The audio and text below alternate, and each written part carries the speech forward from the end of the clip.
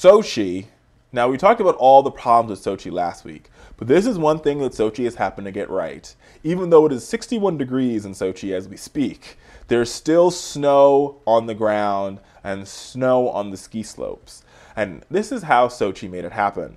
They made a, hun- a thousand football fields worth of fake snow they could pump in to any of the Winter Olympic activities just in case we ran out of snow.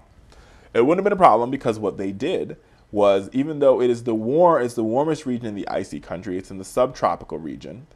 Um, what they basically did was they started capturing snow from years and years and years. For the past couple of years, they've been basically capturing the snow. They brought in the leading experts on how to make fake snow. Um, you know, they they had a contingency plan, and it was a few years ago. They collected as much snow as possible every winter to stock up for the 2014 games. Officials compiled 710,000 cubic yards of snow, which are stored high up in the mountains, insulated under reflective blankets to keep it from melting in the summer. This massive snow piles are an insurance policy. If there isn't enough natural man-made, uh, isn't enough natural snow, the man-made powder will be piled in for the events and released from the top of the mountain to replenish the slopes.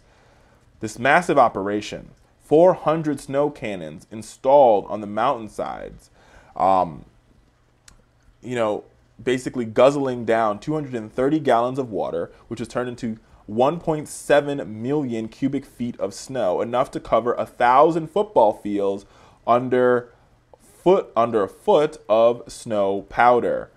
One thing that Vladimir Putin and the folks in Sochi got right is if you watch, it's interesting because I was watching a couple days ago and they were showing the long, I guess it's the long range skiing, and the ski the skier, as a woman, she had a tank top on and she was skiing through the snow because it is literally 65, 70 degrees in Sochi, but there's snow on the ground because once for once for once, Sochi got this one thing right, and they got you know enough snow to have a snow glow for the next two weeks of the Winter Olympics.